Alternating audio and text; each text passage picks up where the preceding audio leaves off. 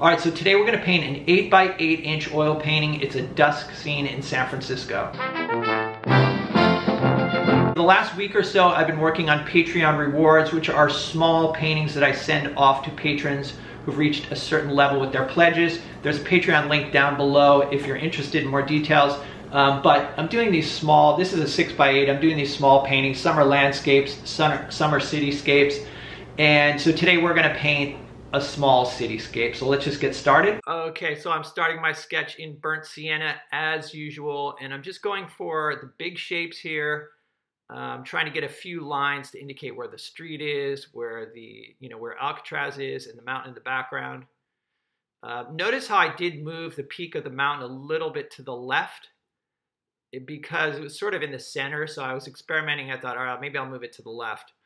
And now I'm coming in with uh, a mixture of alizarin crimson and ultramarine blue just to kind of start establishing the darks. Um, and then putting in the sky, obviously, and the water. And I'm not really trying to get exact uh, colors or values at this point, just approximations.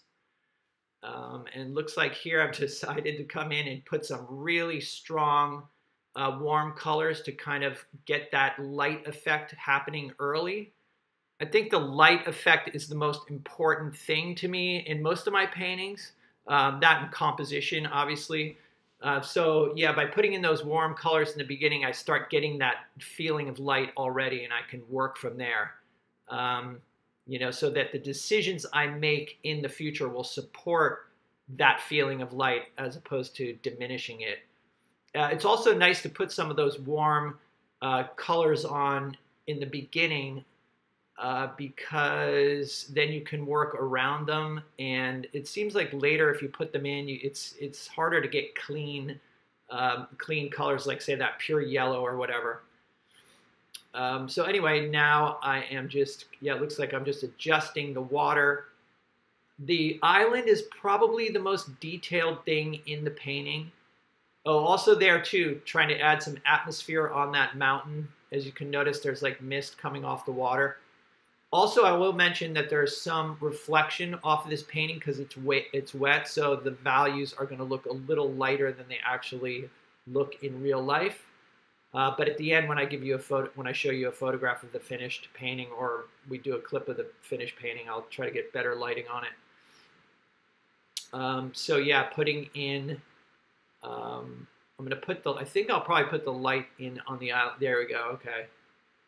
So, and then it's key to remember little details like the reflection in the water, which I kind of messed up. I don't know. I think I put it on too bright at first, so I just wiped it out and then put a more subtle uh, mark there.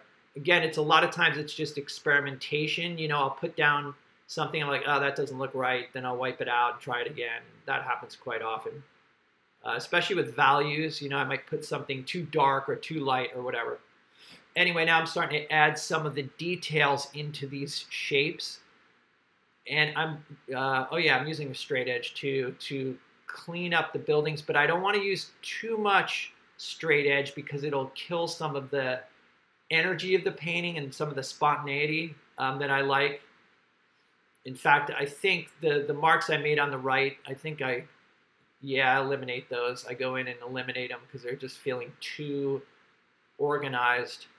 It's like this balance between organization and chaos that I'm looking for. All right, putting in some of the greens of the trees along the street. And um, also, too, the lights, when I put in the lights, like the yellows and stuff, I'm really loading up the brush and just kind of gently applying the paint so that the brush doesn't actually contact the panel. It's sort of floating over the panel on a layer of paint. Um, and that I've found is, I think, especially with light colors, putting that that thick paint on just makes the paint more radiant than if you have some thin layer. The paint color is pure is more pure because it's not mixing with the layer underneath; it's floating above it. And um, I don't know. I, I remember reading someone saying, uh, you know, more paint equals more color. It's really true. So I try to put on those pops of light using as thick a paint as I can apply. Um, and yeah, now I'm just going to go in and start putting in the you know all the little lights. And it's it, it's amazing how putting those little bits of light in and then also suggesting some windows which i'll do at the end those little details are really all you need. I mean if you look carefully at this painting it's it's kind of chaotic uh, especially if you look up close but you know it's pretty clear what it is i mean especially because the mountain in the back or because um, alcatraz in the background is pretty clear and identifiable, but that foreground is an abstract painting, you know? But yeah, those little windows that I put in, that sort of thing really defines it.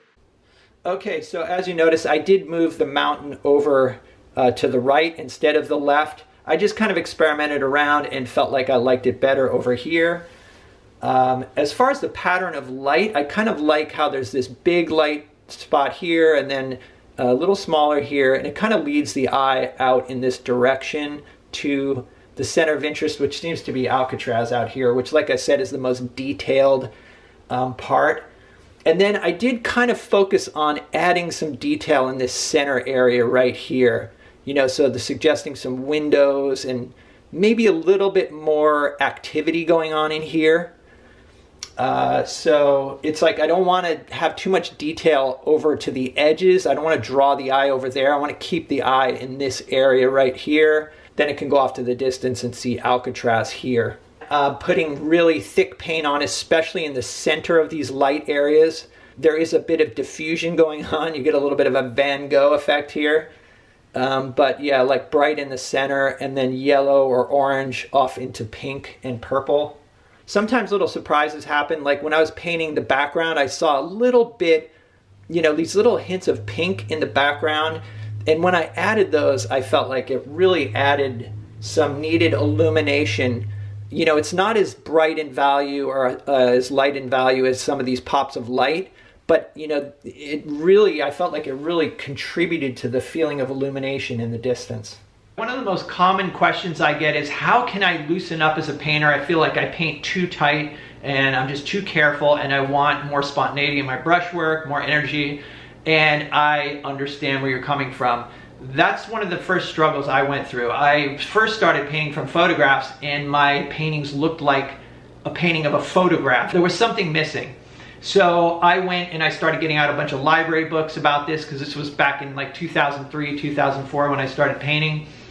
And there was this common theme through all of the books, which is, you know, if you're gonna paint landscapes or you're gonna paint representationally, you've gotta paint from life as much as possible. Um, and for me, I was interested in landscapes so I got out and I started doing plein air landscapes. And it took a little while, but I did feel like that it, you know, really loosened up my brushwork and it kind of uh, sped up my approach to painting. I got faster, looser, and more confident too. Um, and I've noticed that especially when I come back into the studio. And I know I talk about this a lot, but it's so true. And a painting like this could not have happened without years of plein air painting.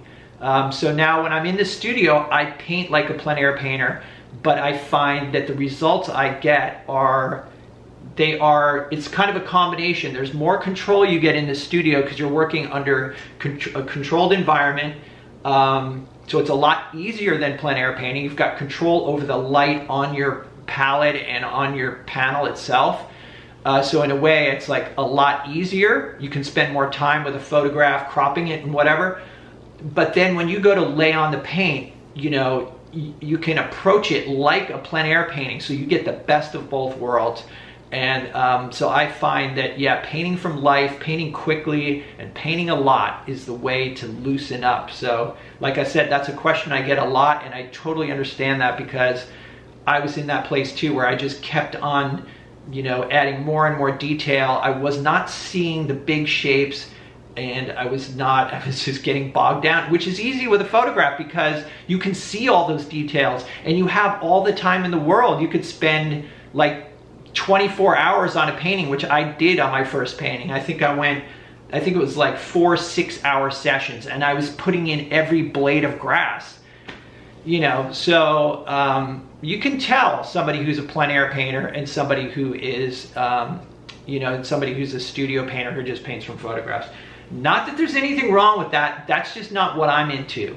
Um, I think there are a lot of painters that love like super detailed uh, paintings and they like to take it to a certain extent um, or to an extreme extent with the detail. Not me. I like just a nice impression of the scene. Um, and so that's what I'm after. Anyway, I could ramble on about this forever, as you guys know, but I will cut it off here and hope you guys are all safe, healthy, and being creative.